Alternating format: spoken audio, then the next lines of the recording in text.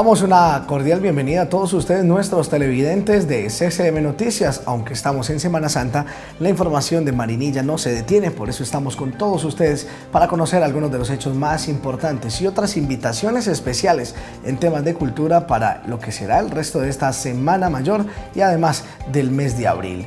Vamos a conocer los titulares. En barrio de Marinilla capturaron a hombre por violencia intrafamiliar, mientras que un menor de edad y otro mayor de edad fueron capturados por el delito de desaparición forzada. Gobernadora de Antioquia encargada visitó las obras del Parque de la Familia. Alcalde afirma que van en un 80%.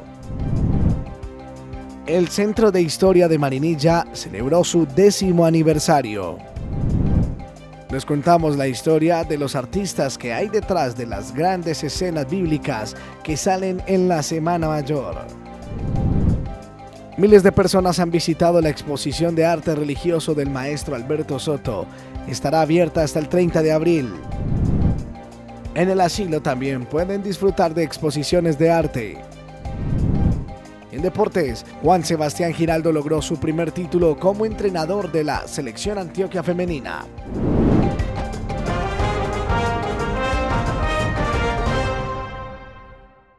Comenzamos con la información en CCM Noticias.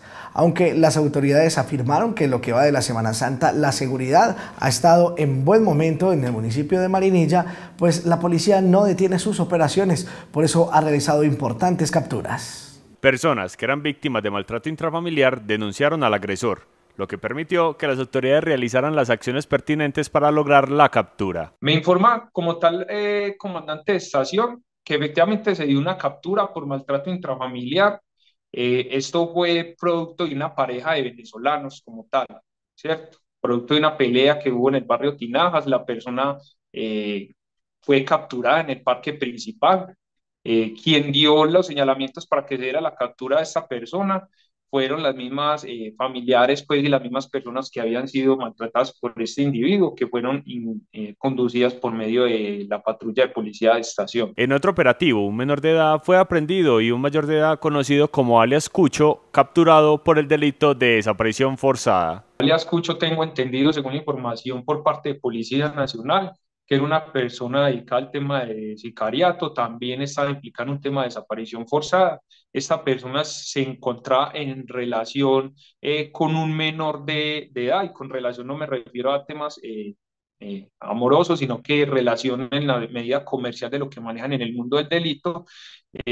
este menor de edad también fue efectivamente pues, puesto a disposición de las autoridades y eh, los dos son obviamente y van a ser judicializados indudablemente por distintos pues, eh, delitos como tal en, en cuanto al, tema, pues porque el menor de edad es un instrumento pues para el derecho eh, penal colombiano, pero como tal los cargos son utilización de menores de edad para el tema de, delictivo y la desaparición forzada. E indudablemente si habrán antecedentes por el tema de sicariato, pues también le caerá el peso de la ley por este tipo de actividad.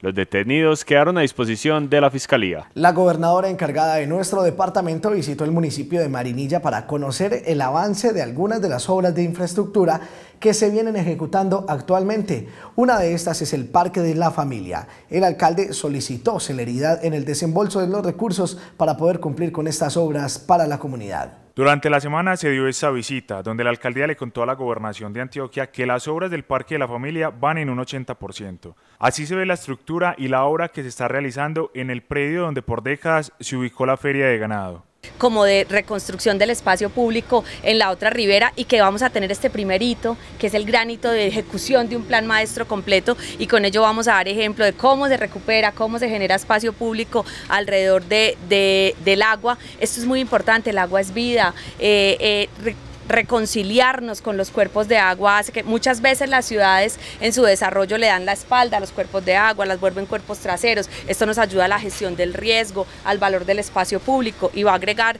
digamos, también un valor turístico muy importante a la ciudad. A la gobernadora encargada CCM Noticias le consultó acerca de la protección de la quebrada, más allá del tema de la infraestructura muy importante que podamos recuperar desde el punto de vista ambiental todas las intervenciones. Parte de darle la cara al cuerpo de agua es uno de los elementos más importantes para prevenir vertimientos, para prevenir eh, residuos sólidos en las quebradas. Aquí hay un trabajo articulado con la autoridad ambiental y con la autoridad ambiental avanzaremos siempre en recuperación. Saber que eso siempre es un proceso, o sea que hay actividades pero que requieren, siempre se va a requerir un proceso mientras se consolidan eh, las calidades y cualidades ambientales de los cuerpos de agua, pero sí es súper importante que la estrategia de parques del río hace igual cuidado, igual valor. De hecho, el reconocer de disponerle la estrategia de espacio público más importante de un territorio al agua tiene que ver esencialmente con reconocerle su valor ambiental, su valor eh, de estructura ecológica principal y son también acciones que cuidan en la medida en que ponen ojos, en que ponen atención sobre el cuerpo de agua, en que lo vuelven un elemento turístico y eso también nos ayuda a hacer mucha más conciencia ciudadana de cómo tratar ese cuerpo de agua. El alcalde se refirió al avance de las obras. Está establecido aquí lo que tiene que ver con un tema en el que todos los seres humanos somos iguales y es el espacio público de calidad salvaguardando las condiciones de la fuente hídrica de la quebrada La Marinilla, en una relación de trabajo muy cercana también con la Autoridad Ambiental Cornare y también hay concurrencia de recursos de Viva en este proyecto que obviamente se convierte en un factor fundamental de alianza interinstitucional y que obviamente su desarrollo con, eh, digamos, la disposición del, contratista, el doctor Jaime, a quien saludo de manera muy especial por el sentido de pertenencia, el cariño y el amor que le ha puesto a la obra, pues nos permite hoy entrar en un nivel eh, cercano al 80% y obviamente eh, esperamos poderlo entregar a la comunidad y que este sitio como lo hemos hecho en el marco del malecón turístico, en los alumbrados navideños, se convierta en el epicentro del turismo, del encuentro. El alcalde aprovechó para mostrar el inicio de la construcción de la plaza de mercado, que es un proyecto que se complementa con la estrategia de Parques del Río, con el propósito de mejorar las condiciones de trabajo y atraer turismo a la zona. La primera etapa de la plaza de mercado, que también es otro factor de transformación para la ciudad de Marinilla, está garantizada. Habrán algunos recursos que obviamente nosotros elegimos en ese proyecto de interés de los 1.500 millones de pesos que el señor gobernador propuso a todos los municipios y alcaldes del departamento seguramente que se requerirán para hacer ese ajuste, pero lo que queremos es garantizar la totalidad de los recursos y la funcionalidad de esa plaza de mercado que es tan importante para la vida de Marinilla de la región. El alcalde fue enfático en la solicitud realizada a la gobernación para que entreguen los recursos pactados y así poder culminar las obras. Claro, recursos y disponibilidad para que haya eh, efectividad en la trazabilidad, aprobación de las actas, el desembolso de los recursos y obviamente la garantía de su ejecución. En poco más de dos meses entregarán el Parque de la Familia, pues justamente ese fue el compromiso asumido con la gobernación de Antioquia.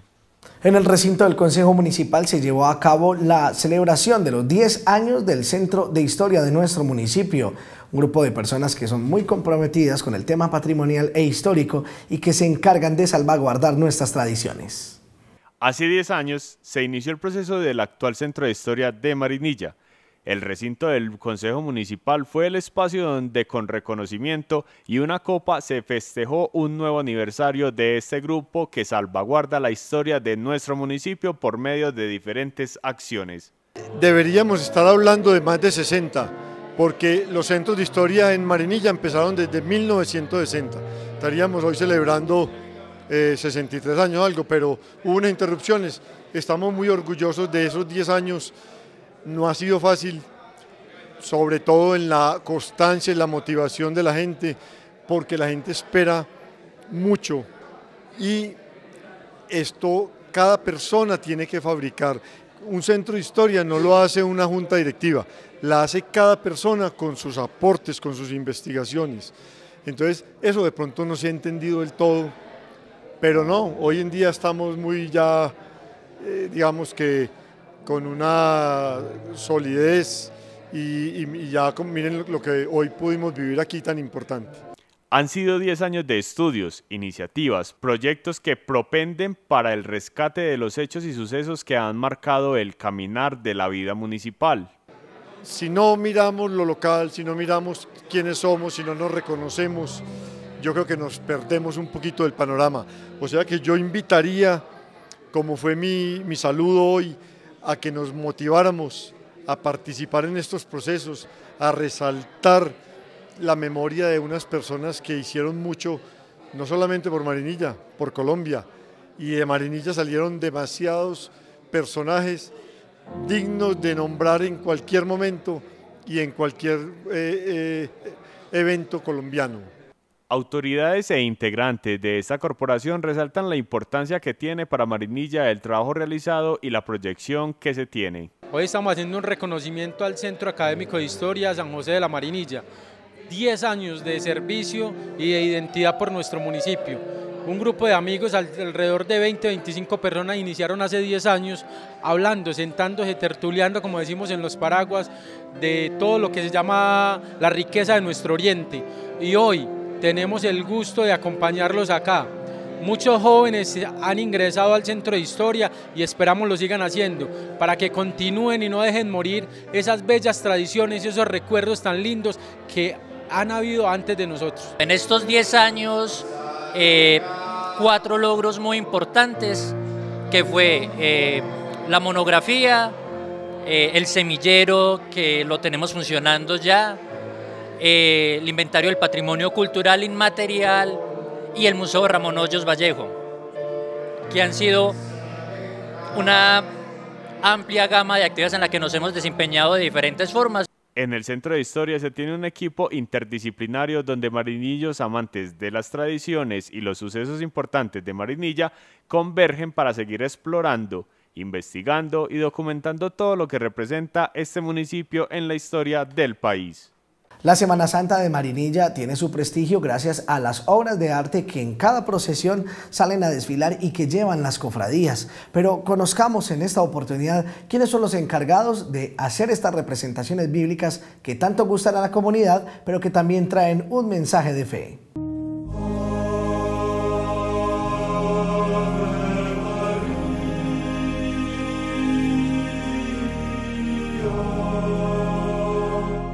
En este taller ubicado en la zona rosa de Marinilla, durante la Semana Santa trabaja este grupo de personas.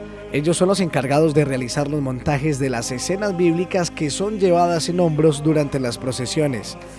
El líder y coordinador del grupo es Juan Guillermo Giraldo. Desde que tenía 7 años se fascinó por las decoraciones de la Semana Mayor y comenzó a tantear terreno de lo que hoy es su profesión.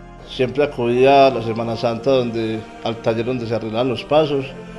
Eh, en esa época tenía 7, 8 años y yo era fascinado con todo este cuento. Así empecé a pasar chinches, alfileres, eh, manticos y así me fue encarretando con, con esta labor que toda la vida me ha gustado. Me fueron empezando la oportunidad y me empezó a gustar el arte religioso y me fui metiendo poco a poco y ya empecé como ayudante y ahora soy como el director y el decorador de la Semana Santa. Su vida gira en torno a la decoración. Es creativo, calculador y ante todo un apasionado por su profesión. Nosotros preparamos después de la cuaresma, que decoramos pues el templo para la cuaresma, empezamos ya a hacer los proyectos de lo que se va a hacer en Semana Santa, organizar lo que son las vestimentas, eh, los ramos, la parte de decoración, las andas, y ya empezamos a, organizar todo con despacio y a organizar el monumento para que todo salga bien. Más que un montaje de imágenes, es una obra de arte que día a día organiza. Que sean unas escenografías tratando de hacerlo muy real, pues con sus eh, atuendos y su decoración de la época, sus estructuras, la topografía, tratar de hacer lo mejor posible que sea muy real, con mucho realismo. Un día de trabajo inicia a las 4 de la mañana y termina a las 8 de la noche. Siempre están cambiando atuendos y espacios. Además, se fijan en cada detalle que por más pequeño que parezca, termina dándole vida a las representaciones escénicas. Eso es algo gratificante para uno porque el mejor pago que uno tiene es que la gente le valore el arte que uno tiene y las cosas que uno hace para Marinilla. Junto a otros 10 compañeros se concretan las ideas que terminan plasmadas en pasos que cargan las cofradías. Ante el realismo y la belleza de los montajes, se deja un sello personal de amor por lo que se hace, que permite que Marinilla tenga una de las Semanas Santas más bonitas de toda Colombia.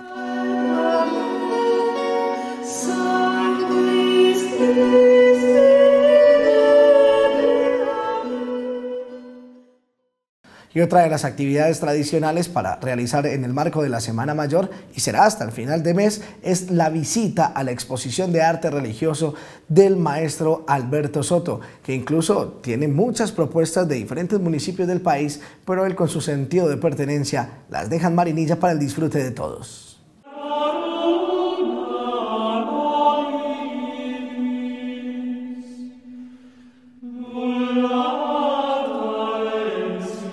150 figuras hacen parte de la exposición que ha recibido la visita de miles de personas en la Semana Mayor, lugar que es de paso obligado para quien haga presencia en Marinilla. La Coya, como todos los años, pues ha tenido mucho flujo de gente.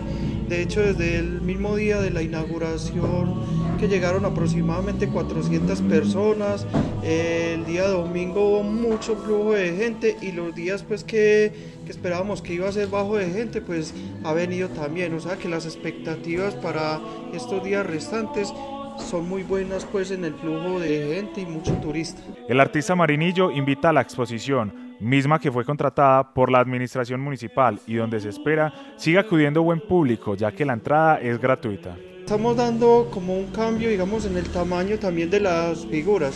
De hecho ya no solamente estamos exponiendo todo bíblico, sino también mucho ornamental, que eh, es, digamos, son escenas más bien como digamos decorativas, pero no podemos dejar digamos también como esa parte bíblica que es la que nos enseña y nos recrea y nos explica prácticamente los tiempos cómo fueron cuando eh, Jesús estuvo en esa época. La exposición estará abierta hasta el próximo 30 de abril. No perdérsela este año porque saben que cada año siempre y cuando pues las administraciones que vienen pues adelante, saben pues que este año hay elecciones, entonces uno no sabe hasta dónde estas administraciones están dispuestas digamos como a seguir apoyando estas exposiciones y de hecho ya han habido ofertas de otros municipios que han querido llevar esta exposición a otros lugares.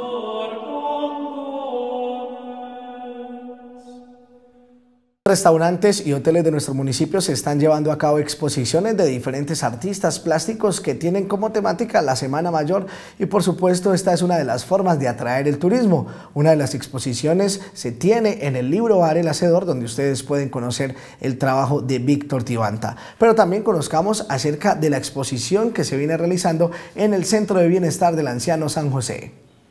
Más de 50 obras están siendo expuestas en la galería del CBA San José hacemos la invitación para, todo el Oriente, eh, que nos acompañen en la exposición Enfoque Figurativo, el retrato y otros tópicos sagrados.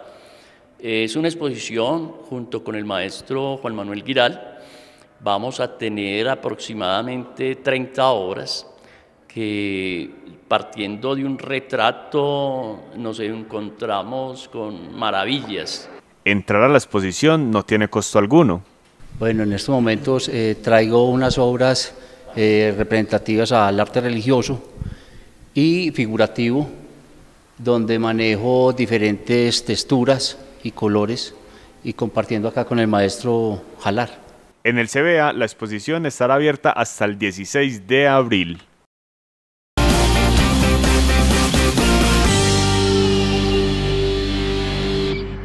La buena noticia del deporte de esta semana la deja nuevamente la disciplina del rugby. Dos integrantes del Club Espartanos de Marinilla, que ahora hacen parte de los procesos de selección Antioquia, lograron uno de los pasos más importantes durante esta temporada y es la clasificación a los Juegos Nacionales. Luis Miguel Giraldo logró el paso a los Juegos Nacionales como jugador de la selección masculina, mientras que Juan Sebastián Giraldo conquistó su primer título como entrenador de la selección femenina y así ratificar el cupo antioqueño para las próximas justas deportivas del país. Un equipo que se comportó a la altura, eh, realmente solo nos marcaron 5 puntos en toda la competencia, logramos hacer 192 puntos a favor, entonces fuimos muy contundentes.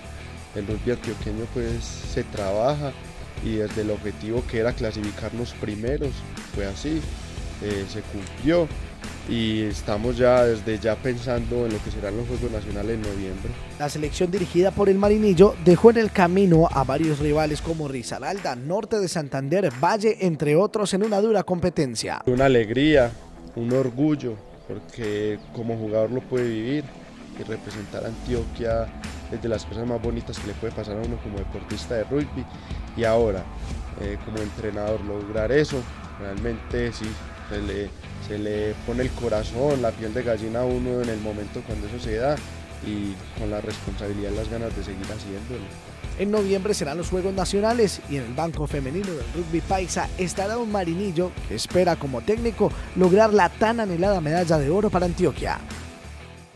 Finalizamos así el resumen informativo de esta semana en CCM Noticias. Los invitamos a que sigan conectados con toda la programación especial que tenemos a ustedes, el gran despliegue de nuestro equipo de producción para llevar hasta sus hogares los mejores momentos de la Semana Santa y también del Festival de Música Religiosa invitarlos para que compartan en familia de toda esta oferta cultural, religiosa y gastronómica que tiene nuestro municipio y asimismo invitemos a los amigos que están por fuera de Marinilla para que nos visiten. Obviamente todo esto fortalece la parte económica y por supuesto seguimos demostrando que Marinilla es uno de los destinos preferidos durante la Semana Santa. Nos vemos en ocho días con más información. Feliz fin de semana.